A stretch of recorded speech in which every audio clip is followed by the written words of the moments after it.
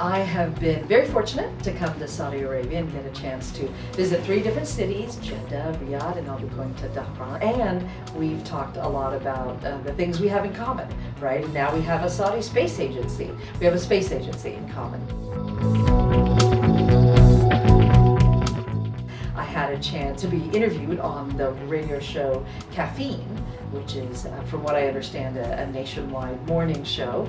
And uh, that was really fun to get to talk to folks when they're just waking up. And I also was uh, able to hear some of the more popular radio uh, songs that are out right now. Uh, another highlight was the chance to speak at Dar al Hekma, a women's university in Jeddah, who's also at the start of having their own engineering curriculum and we had an audience, even though they were in the middle of finals, of about uh, 50 to 60 young women, and they it was fun to tell them stories of space exploration and Mars exploration.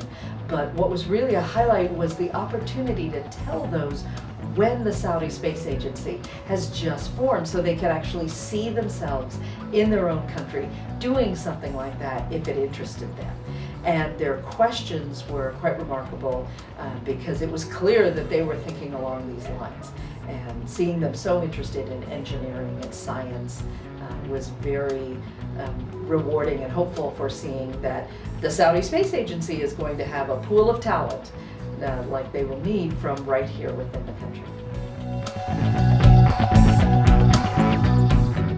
So I have had the opportunity to be a part of many amazing moments in the robotic missions that I've worked on.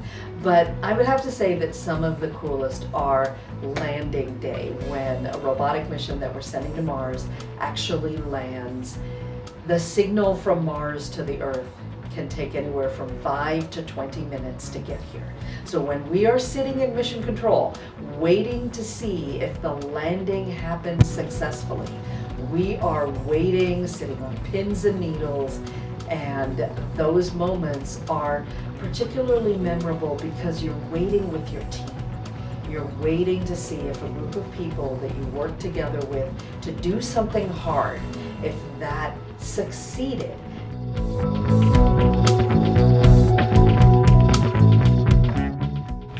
Message there is yay right? We need more girls around the world to get involved in science, technology, engineering, and math. So many of our jobs today require a literacy in science and math. I mean, everyone's daily life requires a literacy. I would also say that you're going to encounter people who say, the girls don't normally do that. Why do you want to do that? That's hard. There are other things you can do.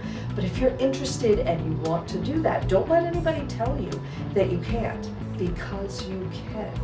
And we need you to believe in yourself, to make sure that you talk to other people that support you. For every person that says you can't do it, there are going to be five people who say you can.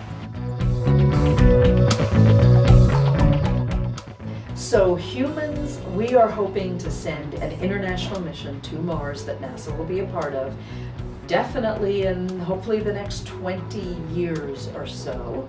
And humans will be walking on Mars, hopefully following in the footsteps of some of the robotic missions that we've sent, we do have work to do before we can send people.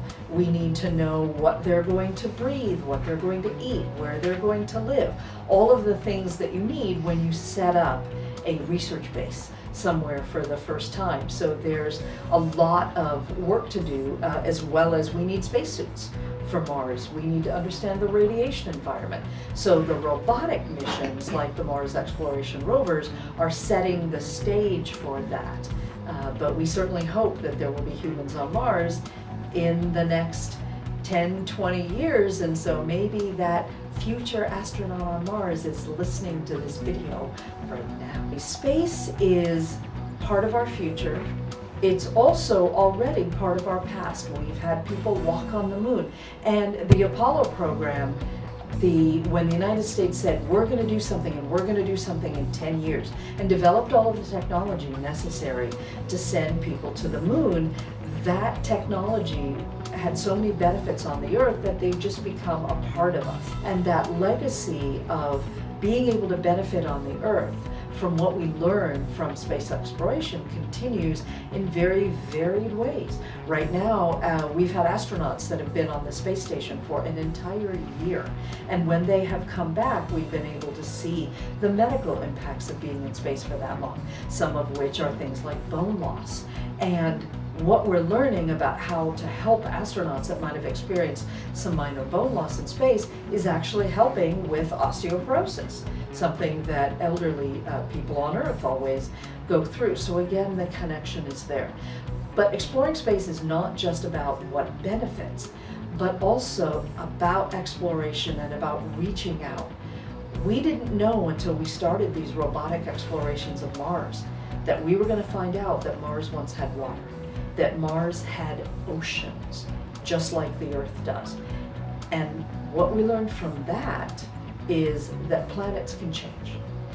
planets can be one way and then change to be much more like Mars is now, which is not hospitable, dry, cold, lifeless.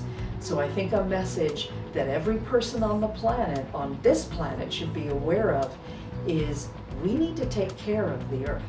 We're very lucky to have a planet that is so delicately balanced for life. And planets can change. We need to take care of this one.